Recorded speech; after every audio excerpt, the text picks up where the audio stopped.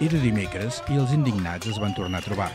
I va ser per protestar de tot el que no va bé i de tot el que hauria d'anar millor. Aquesta vegada, però, la protesta va ser itinerant. Va començar, com sempre, a les 8 del vespre. Ara bé, ho va fer des de la plaça de Joan Alzina, al barri de l'Estalvi. Els indignats portaven, com sempre, pots, cassoles, xiulets i tota mena d'estris per fer soroll. I amb l'ajuda d'un megàfon, per llançar consignes, van anar recorrent els carrers de Cardedeu fins a arribar a la plaça de Sant Joan, on van celebrar la seva assemblea setmanal.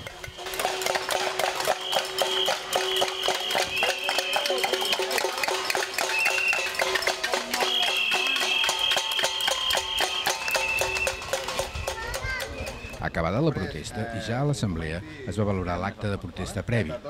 Posteriorment, i entre d'altres coses, es va parlar de com fer més participatiu el moviment, de com aconseguir arribar al màxim de gent i ser més visibles, i que el seu missatge pugui arribar a tots els ciutadans de Cardedeu.